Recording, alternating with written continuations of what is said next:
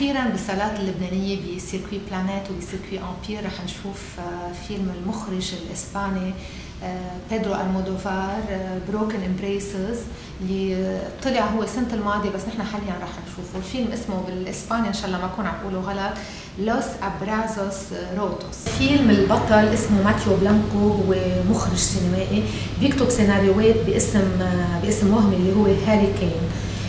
قبل 14 سنة بيعمل حادث ماتيو وبيفقد بصره وبتموت حبيبته لينا اللي هي بينيلوبي كروز بتكون عم بتمثل بأحد أفلامه.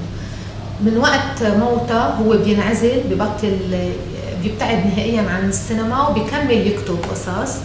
الفيلم بيبدأ لما يكون مضطر يخبر هالمخرج رح يخبر قصة حياته لابن مساعدته اللي موجود بالمستشفى بيكون قاعد عم يعتني فيه وبيخبره قصة حياته بيخبره المأساة اللي عايشها قصة هالحب اللي كان مزروع بالخيانة بالشك بالغيرة وليش لأدى لهالنهاية المأساوية.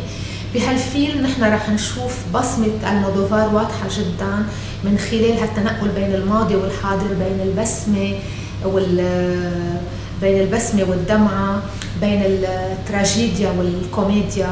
رح نشوف ألوان كثير قوية من اللي بيحبها المودوفار رح نشوف العنصر النسائي البارز على طول بافلامه رح نشوف ال homosexual لأنه هو تحديدا المثلي جنسي رح يكونوا متواجدين بالفيلم آه رح نشوف الخيال والواقع يعني, يعني نحن حايرين بين الخيال والواقع مثل كل أفلام المودوفار رح نشوف أداء رائع لبنيلوبي كروز اللي ما بتتألق فعلا إلا بأفلامه.